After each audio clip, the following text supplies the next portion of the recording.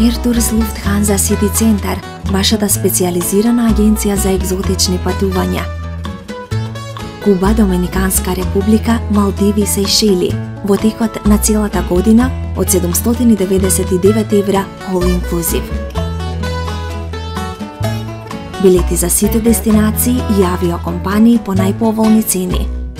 Airtours Lufthansa City Center.